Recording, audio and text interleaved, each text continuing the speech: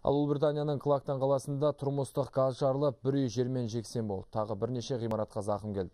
Құтқарушылардың мәліметінше жарақат алған адам көп. Алайда нақты саны әзірге белгісіз. Кейбір ақпарат көздері 10 адам жараланды деген хабар таратуда. Әзірге қаза тапқандар туралы да ақпарат жоқ.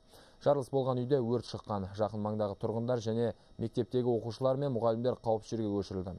Өрт сөндірушілер енді қирандылар астынан адамдарды іздеп жатыр.